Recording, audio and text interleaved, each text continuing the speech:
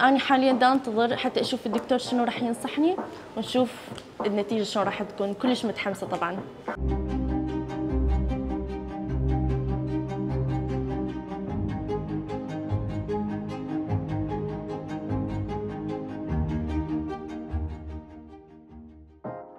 مرحبا اسمي سيبيل من العراق. آه، صار لي ست سنوات أنا بتركيا وأشتغل آه، بشركة خاصة كمترجمة. طبعا من زمان هواية حبيت إن أشوف بوجهي يعني إنه أنا ذقن مالتي صغيرة وحابة يعني أسويها أبرزها أكثر. آه، دورت هواي عيادات سألت صديقاتي شفت يعني وأخيرا شفت Doku Medical. طبعا Doku Medical هي عيادة بس طبعا أول ما تدخلوا لها ما تحسوها كعيادة ما تحسوها كمستشفى. داخلها والناس اللي بيها دائما مبتسمين يضحكون بوجهك يعني دائما تحس بالراحة هنا.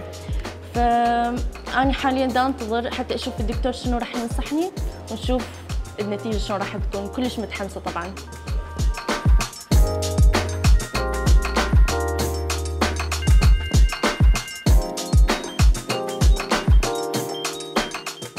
Merhabalar, ben Doktor Mustafa Hamidi, dermatoloji uzmanıyım.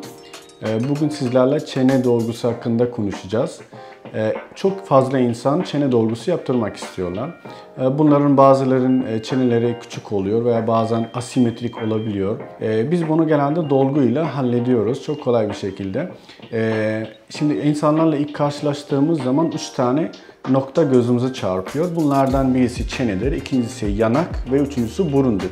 Bu üç noktanın birbiriyle eşit olmasını istiyoruz biz genelde. Ee, birisi eksik veya e, biri, biri e, bu noktalardan birisi e, küçük olduğu zaman genelde yüz asimetrik duruyor. Şimdi çene de onlardan birisidir. Çeneyi doldurduğumuz zaman dolguyla hem burun küçük görünmeye başlıyor hem simetrik hatlar oluşuyor yüzde. Ee, genelde işlem süresi 15 dakika ile 10 dakika sürmekte. Anestezik kremlerle bunu uyuşturuyoruz ve e, normalde hasta ağrı veya acı hissetmiyor.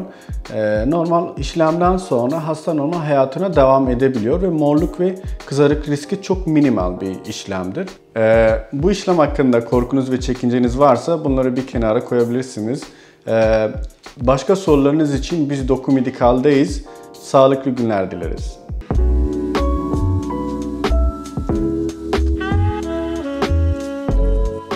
مرحبا. طبعا صار لي بعد الحقن أسبوع ومثل ما تشوفون النتيجة كلش حلوة.